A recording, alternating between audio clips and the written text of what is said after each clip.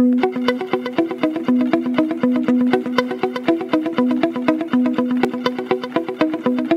Instituto de Altos Estudios de Control Fiscal y Auditoría de Estado realizó con éxito el taller Desarrollo de Competencias Gerenciales, formación dirigida a servidores del Sistema Nacional de Control Fiscal.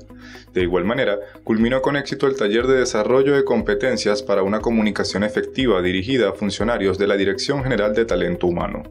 En este mismo orden se llevó a cabo el webinario Indicadores de Gestión para la Toma de Decisiones y Rendición de Cuentas, dirigido vía web a más de 500 personas integrantes de la organización Latinoamericana y del Caribe de entidades fiscalizadoras superiores y las 24 Contralorías Estadales del país. Finalmente, se llevó a cabo el curso Objetivo de Metodología para la elaboración del POA, dictado por la magistrada Sandra Ular a los funcionarios de la Sociedad Anónima Bolivariana de Puertos.